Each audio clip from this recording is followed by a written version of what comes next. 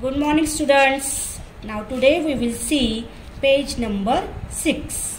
So on this page number 6 we have to directly draw this flower here here here here with the this color this gray color directly and we have to also draw these leaves directly with this color. So first we have to draw all these petals of this flower like this.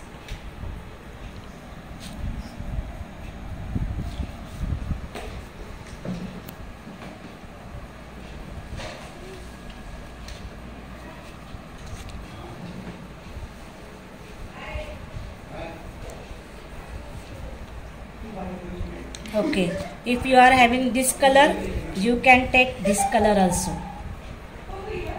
This color is very much faint color, so we will take this gray color and we have to draw with this color directly.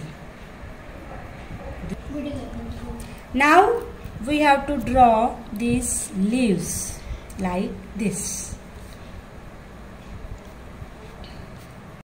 Now we have to give this yellow color in this middle part of this flower like this. Now we have to start with this red color. So we can start with this red color. So give one one petal that separate color like this. After red we have to give orange like this then after orange we have to give this dark blue color here then after that we have to give pink color here. Then again start with the red color.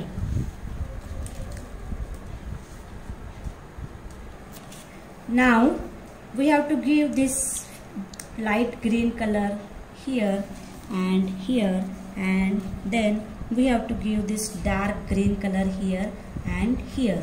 And all these remaining flowers and these leaves we have to give color like this only. After completing this coloring this picture will look like this. So complete your page number 6 thank you